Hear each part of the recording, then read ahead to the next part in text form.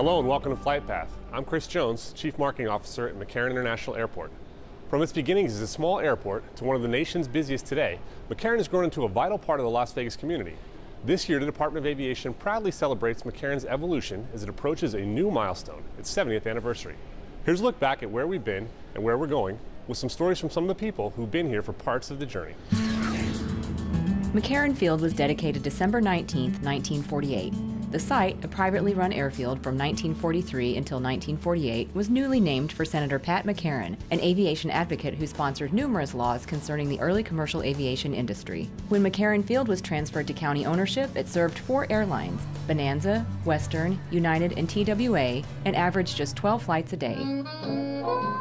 In the 1950s, Las Vegas hadn't yet grown up around the airport. By 1959, the number of daily flights at McCarran had increased to 73, with an average of 2,629 passengers a day. In the 1950s, the community is growing, the strip is growing. Airport planners are looking at can we grow on the Las Vegas side or are we going to jump the field? And so they decide they are going to jump the field, build on Paradise Road. It was interesting, the media here thinks this is a terrible idea. It's called a white elephant basking in the desert sun. And yet, within just a couple of years, we have to already start planning again for the future. With passenger numbers on the rise, the 1960s saw the opening of a new terminal. In 1963, daily flights increased to 128 with nearly 49,000 passengers a day. By 1968, annual passenger volume grew to 3.5 million, and while scheduled international flights wouldn't become a major part of operations for several years, the airport's name was officially changed to McCarran International Airport. We pride ourselves on being an international airport. Again, because we want the world to come here. And what we've learned is the world does want to come here. In the early 1970s, construction began on the A and B gates to accommodate increased traffic. 1972 saw McCarran as the 22nd busiest airport in the U.S., with 4.6 million annual passengers. It was a time before the age of personal private jets when everyone who flew to and from Las Vegas could be seen at McCarran, even celebrities. Because nobody had the private jets. That was not a big deal. I remember Loni Anderson coming in. She had, you know, sunglasses on, trying to disguise herself. And it was just a day back then, you know, when there's Tom Selleck. You know, hey, there's Burt Reynolds. In 1978, the Clark County Board of Commissioners adopted the ambitious McCarran 2000 expansion plan. Among other things, the plan called for construction of new gates and a parking garage, as well as expanded baggage claim facilities. Over the years, the airport has been home to a variety of shops, restaurants, and bars, they had a cafeteria. They had a small bar. Later on, they changed that to Cheers Bar, and they had these dummies sitting there that looked just exactly like that guy Norm. And everybody thought that was real people sitting there. By 1982, annual passenger volume was more than 9.4 million. As McCarran raced to keep up, work on expansion projects and airport amenities continued. But as a kid, uh, we used to drive out to uh, park at the end of uh, isn't Eastern because the airport didn't go that far out. Was Ever Road was shorter than that, and we used to park and at the end of the fence and watch the airplanes land. That was pretty cool. Lots of people did that. So when we constructed the southernmost runway, we uh, put that viewing area in over on Sunset, and the only mistake we made was not making it bigger because it is really popular. In 1987, the McCarran 2000 expansion was complete and the airport's commitment to the future of the community was apparent. The $300 million project quadrupled the size of the original terminal and added the C Gate satellite concourse. With traffic increasing at McCarran, the county purchased a general aviation airport in North Las Vegas. It would eventually become the second busiest airport in Nevada. In the 90s, a new decade and consistent growth in the number of travelers using the airport meant it was time for another terminal. The Charter International Terminal, later called Terminal 2, opened in 1991. By 1996, McCarran was North America's 10th busiest airport.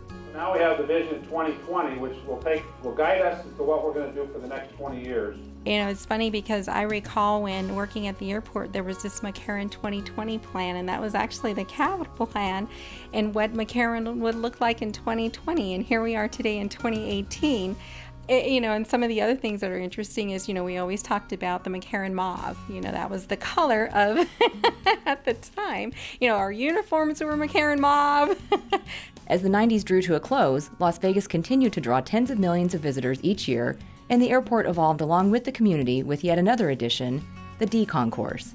To see it being built, each leg, I mean, it was again, was just every time we watched it, we said, here's another piece of history. To see the land before it was a structure, and to see the changes over the years and the technology, and it was just amazing. The new millennium brought challenges, but the team at McCarran faced them head on.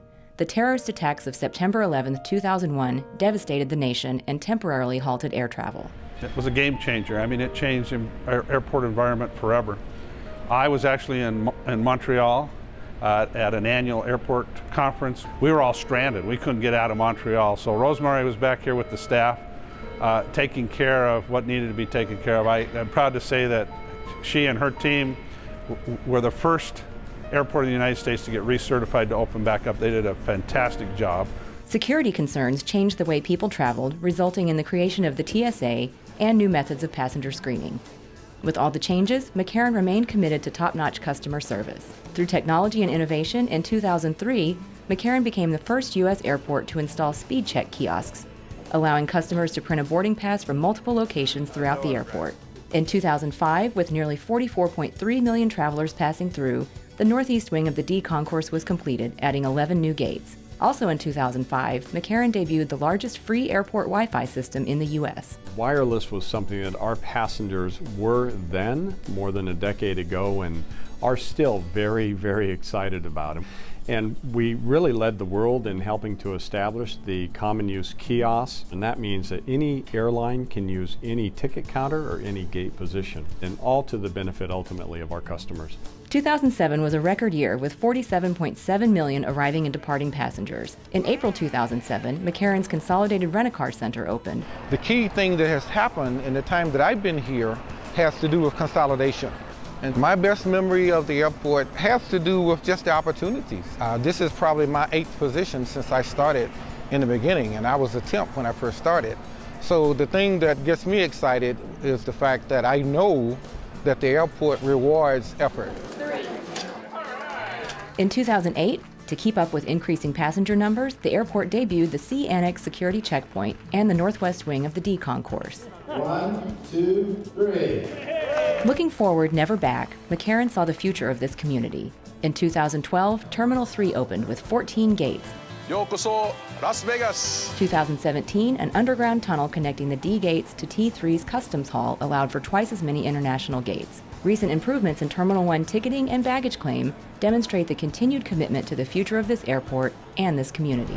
We are truly the gateway to Las Vegas. Um, the airport has grown a lot. I started in 91 and so Terminal 3 was really probably that defining moment for me that wow, this is we're really getting big, you know. McCarran's transformation continues. Its growth and success over the last 70 years wouldn't have been possible without committed employees bold decision makers, and a unique destination designed to entice travelers to return year after year. The airport here in Las Vegas is part of the community. We're part of that economic engine. We can make a difference. As the gateway to Southern Nevada, McCarran will continue its commitment to passengers, employees, and the community, all while constantly evolving to remain a world-class transportation hub. Being prepared for an airport emergency takes practice and planning. The team at McCarran trains year-round, so they're ready for any situation. Every three years, all those involved in airport safety come together for a full-scale emergency exercise. Here's a look at the most recent drill and how it will benefit the well-being of the airport and its travelers. Personnel ready at the standby position is bring on uh, units from off-site. The Federal Aviation Administration requires all U.S. airports to maintain an emergency plan in order to keep their certification. Part of that plan involves emergency response personnel's participation in a full scale exercise once every three years. A mock disaster was created to test the airport's preparedness. Blaring sirens, billowing smoke, and dozens of dazed and wounded people scattered along the airfield, creating a sense of realism. A key element of the drill, known as the triennial exercise, was the need for advanced planning and community wide participation. Police, fire, paramedics, and other emergency response agencies took part in the exercise.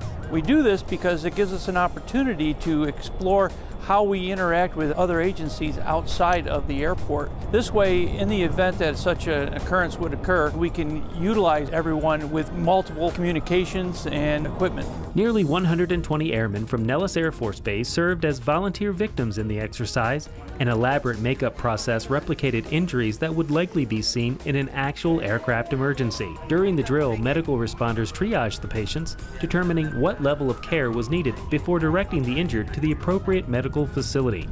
This is a full-scale exercise, and we do that because it gives realism and continuity to how the operations would feel in a high-stress environment where all the players are working in a concerted effort and not just doing a tabletop exercise. The exercise featured a scenario that limited participants' advanced knowledge of what unfolded around them, a technique meant to improve their abilities to react quickly and correctly under duress.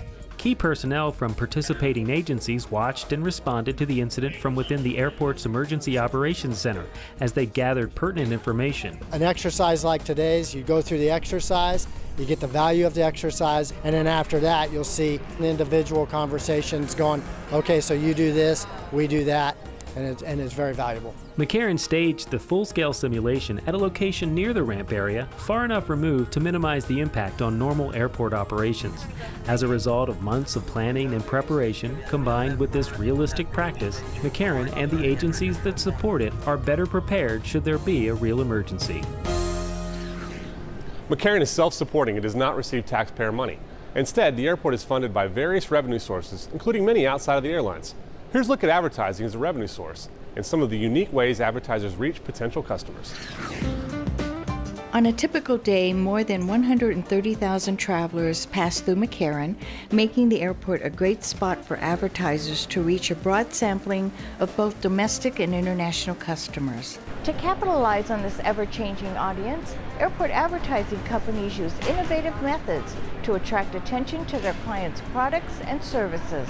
Ads can easily be seen around McCarran on large video walls, small digital displays, and even the parking garage. Virtually any part of the airport, from baggage claim to taxi queues to buses and trams, can be an advertiser's canvas for reaching a large audience. The revenues generated by advertising help offset the fees the Department of Aviation charges its airline partners, a coordinated effort that's a key factor to the success of the local tourism industry. One of the major components of non-airline revenue is advertising. We've worked really hard with our advertising company to maximize that revenue, which helps us keep the costs low to the air carriers and helps make it more affordable to come to Las Vegas as a destination.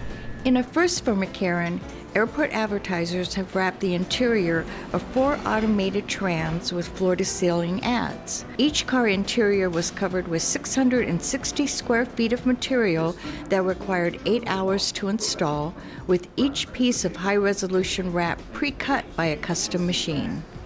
In Terminal 1, many passengers arrive and head straight to baggage claim. With its high ceilings and ample wall space, the area is ideal for displaying ads. Currently, we're working with our airport advertiser to replace all the backlit signs with new digital signs. This allows us to replace the advertisement or put multiple advertisements on one sign. In the coming months, newer NanoLumens LED displays will allow ad content to change every few seconds or for clients to buy out an entire space for integrated and dynamic messaging that could cover all of baggage claim for a few seconds or longer based on the client's preferences and budget. Another opportunity for advertising is the rent-a-car center. So we have a lot of people come here that rent a car while they're on their trip, and it's a nice audience to capture, and it's a nice market that we can focus advertising towards. Airport advertising companies are using technology to reach customers going to McCarran's Rent-A-Car Center, placing digital monitors within the buses that serve the center. With more than 7 million passengers using the bus system every year, the ads are certain to find a large audience. With unique and innovative methods of attracting travelers' attention, advertisers will continue to be a valuable revenue source for McCarran. For individuals with intellectual or developmental disabilities, airports pose unique challenges. Here's a look at a program aimed at making travel a little easier for those individuals and their families.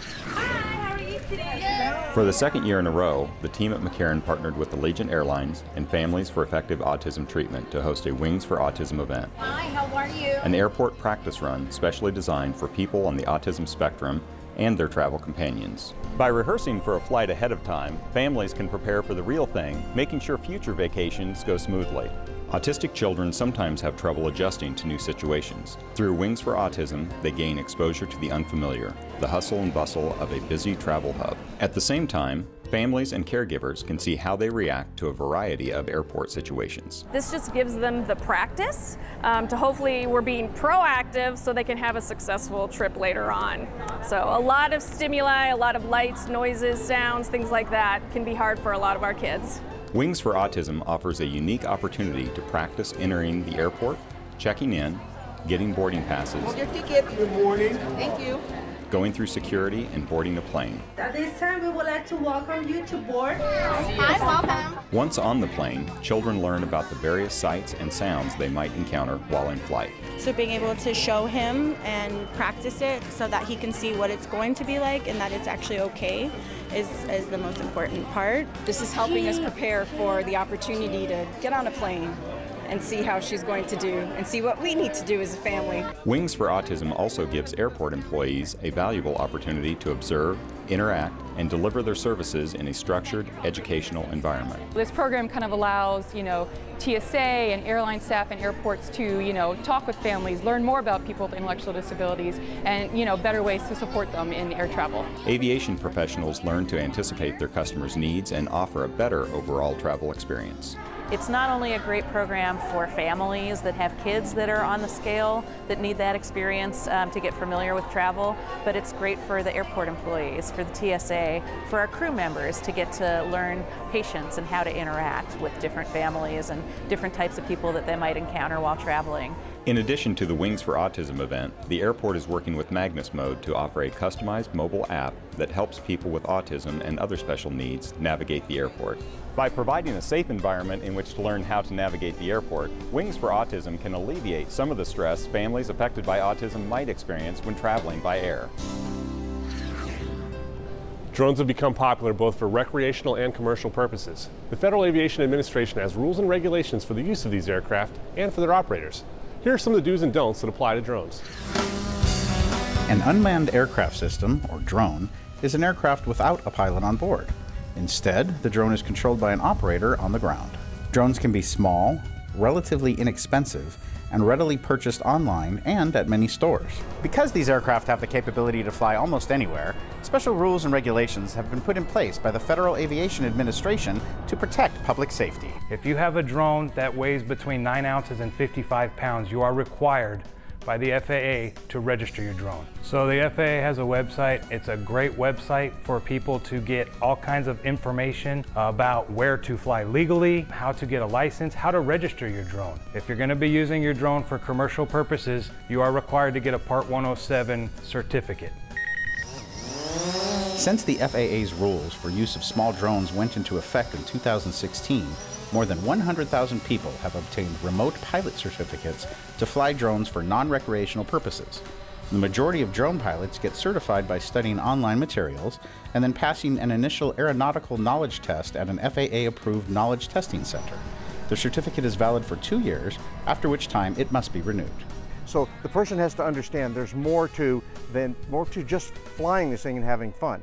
There's liability, and that's really what they have to understand. They are dealing with aircraft that operates in the national airspace. You have to follow the rules. So it's a pathway of education.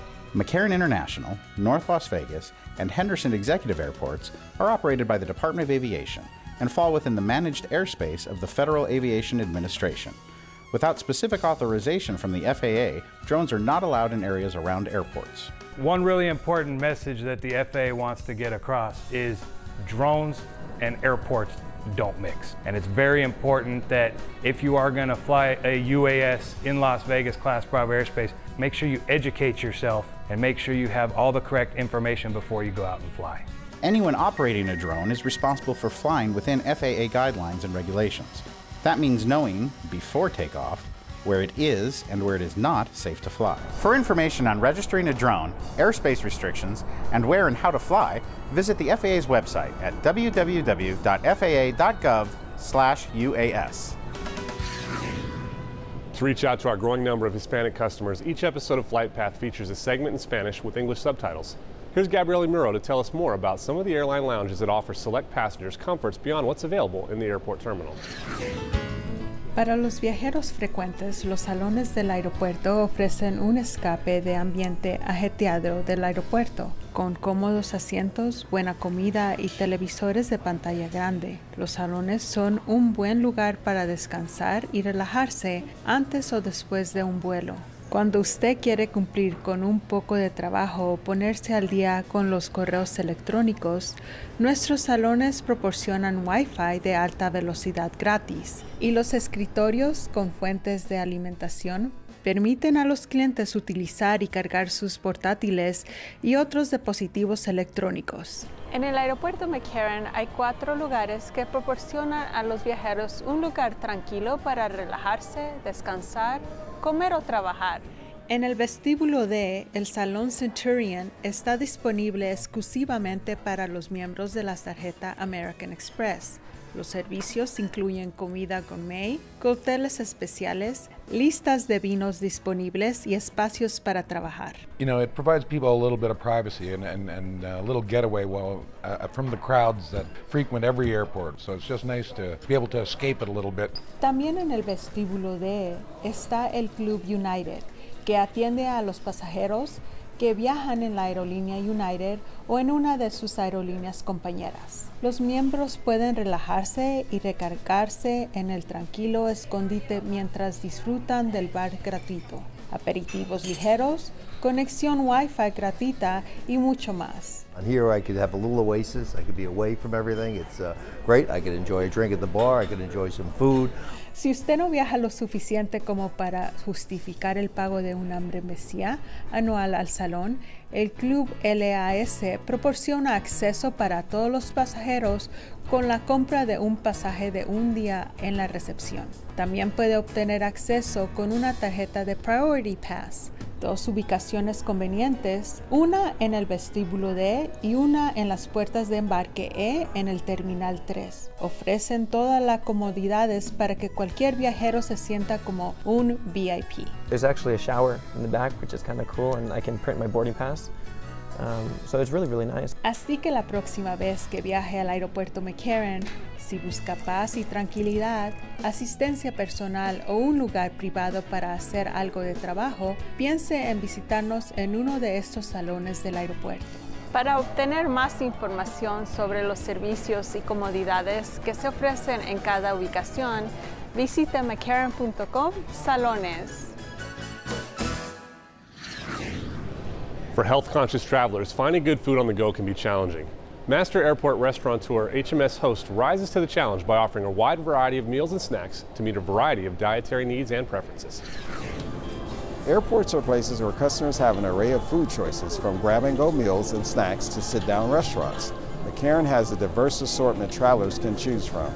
For customers who have food allergies or those who simply prefer to stick to a specific diet, airport restaurants offer vegan, vegetarian, and gluten-free options. HMS Host is really engaging with our customer, and our customer are health focused.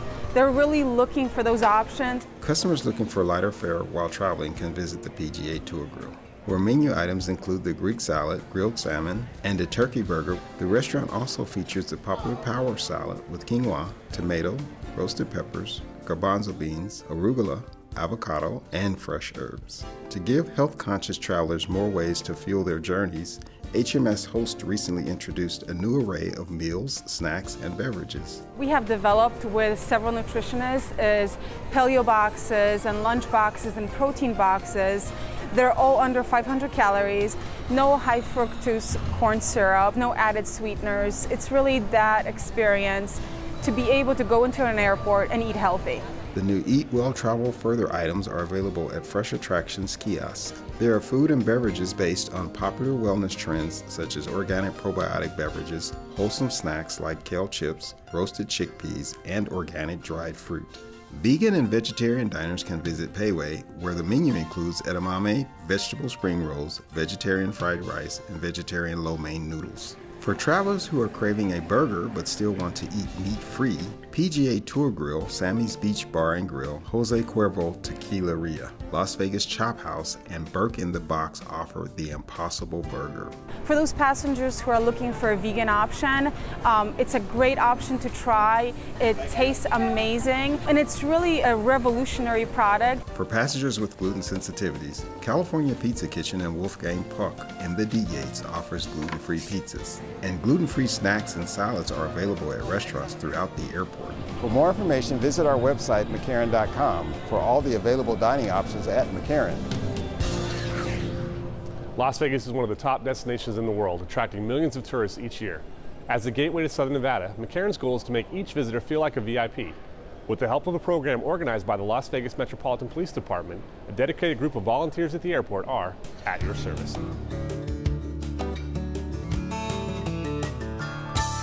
Can I help you, sir? Yeah, looking for Delta Airlines. 14 or 16 all the way down. Oh, 14, 16, thank Yeah. you. The Metro Volunteer Program began in 1996 when local leaders saw a need for a volunteer force to enhance the police department's service for the growing community. This unique volunteer workforce serves residents and visitors alike. Dedicated airport volunteers known as Viva Volunteers work exclusively at McCarran. These ambassadors provide a valuable service to passengers. The friendly volunteers are easily spotted in bright yellow shirts around ticketing, baggage claim, and other high traffic areas. When I retired about uh, eight years ago, I was looking for something else to do, and I knew a couple of guys that were part of the program, and they were telling me about it, and I thought, wow, what a cool thing to do. It's just still a, a, a way for me to give back to my community, not only re representing locals, but also our visitors. McCarran's volunteers must pass a background check and attend multiple training sessions. Some classes cover police operations, while others are specific to volunteering at McCarran. The airport specific classes give an overview of common questions from travelers and train volunteers to give much appreciated guidance around this busy travel hub. Many of our volunteers are travelers, so they know the experiences that people have when they go to different countries or to different airports that they're not familiar with. So they've been there and they want to be helpful. Thank you very much. Have a nice day. More than 90 volunteers work a variety of shifts at the airport. They make calls if customers need medical assistance, give directions, and reunite passengers if someone gets lost. The team also serves as additional eyes and ears for the Metro Police Airport Bureau. I'm retired, so it gets me out of the house. I get a chance to help anywhere between 100, 150 people a day, answering questions, giving directions, things such as that. And then it helps Metro and it helps give back a little to the community. 21, it's right, it's right down there. Verbal communication and problem solving skills are important qualities of the job. The Viva volunteers are required to serve a minimum of eight hours per month, but several give more time simply because they enjoy the bustling airport environment. But most say they just love helping people. I met this family. They were refugees. I don't remember what country, but their English wasn't real good, but they came up to me. They were trying to find their sponsor. Their first time in the airport, first time in the United States. As it turned out, their sponsor was just at the other end of the terminal. But I was able to put them together and it felt really, really good. You know, it's for reasons like that that I'm here. From locating luggage to locating people and giving directions, this volunteer workforce draws on a rich heritage of unique skills to help people, and it's why this dedicated team of Viva volunteers are at your service. Now you're ready to pack your bags and fly the sky, so have a great trip. Remember to check us out on Facebook and follow us on Twitter, and use all the resources of our website, McCarran.com. Thanks for joining us, and we'll see you next time on Flight Path.